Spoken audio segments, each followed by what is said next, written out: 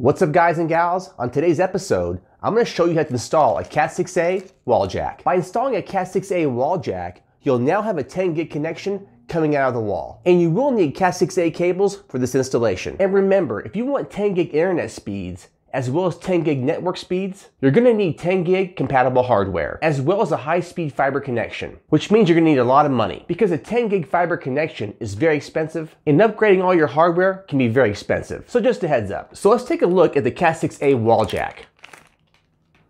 What you get is the Cat6a wall jack, you get the cap that goes on top, and you get a zip tie. And that's it. And of course, this does come with the instructions as well as the wiring diagram. And we're gonna use the T568B configuration. So let's get started. Oh, and guys, don't forget to like, share, subscribe, and comment. It really helps the algorithm. Thanks. So here are the supplies and tools you're gonna need for this installation. And everything is listed in the description below. So first, you need to strip back about two inches of the protective sheath of the Cat6a cable.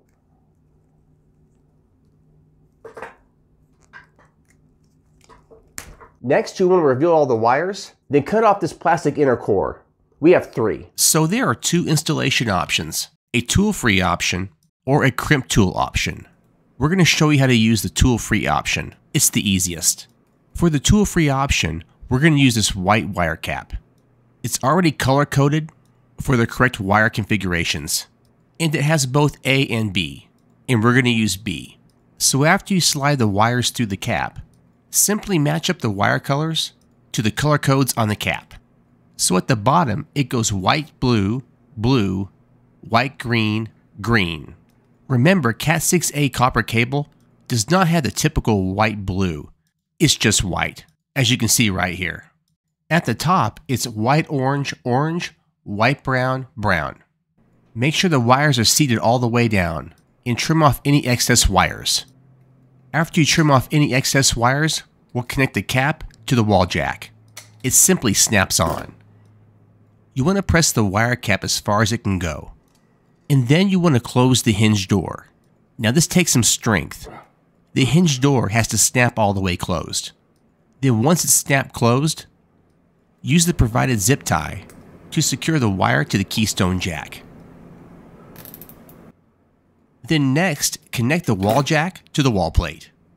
It simply snaps in. And now we can plug a Cat6a cable into the wall jack. And you probably noticed the Cat6a wall jacks have a hinged door on the front. But don't worry, just snap in the Cat6a and you're all good. And now you have a 10 gig connection coming out of your wall jack. Pretty cool.